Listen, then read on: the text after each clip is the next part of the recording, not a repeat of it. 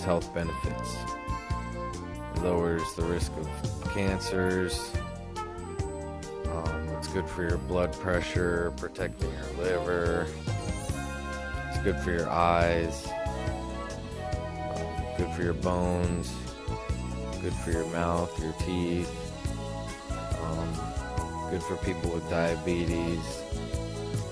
Preventing diabetes. And it's good for your skin. Actually uh, supposedly increases the RBC formation. And uh, it's a delicious fruit. Probably one of my favorite fruits.